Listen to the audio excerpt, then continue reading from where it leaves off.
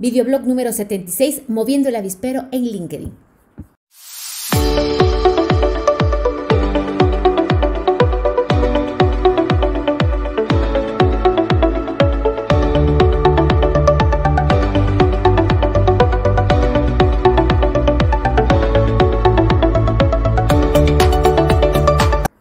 Negocios en Digital 1045.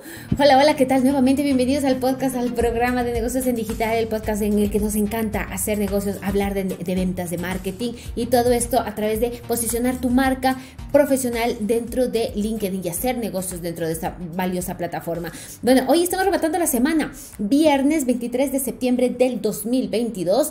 Estamos en el videoblog número 76 y bueno, ¿de qué trata este de mover el avispero en LinkedIn? Bueno, les quiero compartir que ha sido una semana muy intensa y luego de mucha analítica, pensamiento estratégico que hemos hablado también en varias oportunidades dentro del podcast, analizar los KPIs, revisar qué está pasando, pues conseguir el avispero, eh, ya van a ver de qué trata. Pero no sin antes invitarles a que si lo que tú deseas es implementar un embudo dentro de, ventas de LinkedIn, una, mm, digamos, el mecanismo que tú entiendas cómo, sin invertir nada de presupuesto, puedes conseguir que te lleguen prospectos calificados, presupuesto en publicidad, ojo, ¿no? Porque esto no significa que sea completamente gratuito. Pero bueno, lo ves y te dejo este, esta metodología de manera, eso sí, gratuita dentro del cateman.com slash eh, masterclass. Así que echarle un vistazo. Bueno, Comentarles, ya saben, los días viernes este, sacamos el videoblog de Katia, comentarles que igual estas semanas estamos reestructurando el podcast, hemos hecho cosas muy, muy interesantes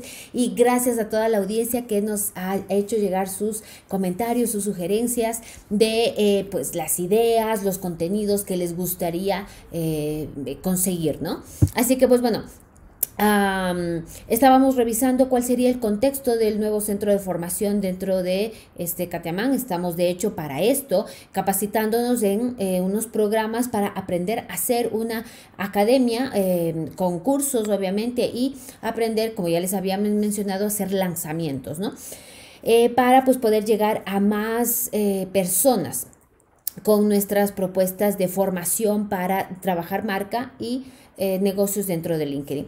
Eh, eh, y bueno, volviendo al tema del, del, título de Moviendo el Avispero, y es que, como les decía, nosotros siempre estamos trabajando campañas dentro de LinkedIn y el sentarse, bueno, salir, digamos, del del trajinal y estar ahí en la parte operativa, siempre es bueno extraerse y entrar a la parte de análisis, ¿no? De estas campañas de automatización que hacemos nosotros. Y claro, dentro de una estrategia de seguimiento, que es importante sí o sí hacerlo, ver a cuáles aquellos eh, prospectos llegaste, te contestaron y sobre todo, ¿cuáles no? ¿Y por qué no? ¿Qué será? ¿Qué sería lo que hizo que esta persona no te, eh, no te eh, haga caso, no te conteste? Eh, faltó de pronto técnicas de persuasión y por eso estábamos buscando mecanismos de cómo activar, ¿no? Y de hecho vamos a sacar Luego un episodio en el podcast en el que les damos algunas eh, pautas muy interesantes para poder reactivar conversaciones con aquellas personas que de pronto después de algún tiempo se enfrió la conversación, se enfrió esa relación y no puedes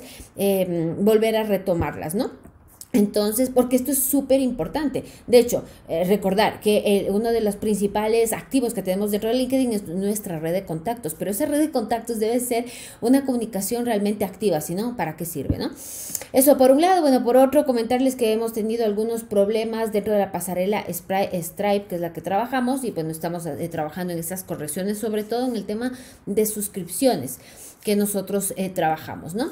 Y bueno, por el tema del nombre del podcast, hicimos un moonbar muy bonito, nos reunimos con la con, la, con los miembros del equipo y pues revisamos, ¿no es cierto?, referentes del podcast que lo han hecho, que hay, que hay dentro del sector, también dentro de, de LinkedIn y pues hay una gran oportunidad de conocer, vi que hay muchos podcasts de LinkedIn en inglés, ¿sí? Y en español, pues eh, no, no. Así que mm, es una gran oportunidad, por eso queremos ponerle un nombre que obviamente la gente se identifique y que sea esta, eh, un canal de, audio durante 5 a 10 minutos que puedas saber más de cómo implementar estrategias, técnicas, herramientas para posicionar tu marca, eh, eh, generar conversaciones y trabajar dentro de LinkedIn. Bueno, eso por un lado. Por otro, estamos redefiniendo igual nuestra cartera de productos y servicios que, o los tipos de cursos, ¿sí? ya sean cursos, workshops, seminarios, aparte de las mentorías que ya venimos dando a nuestros clientes, ¿no? Y también los bootcamp también que estamos por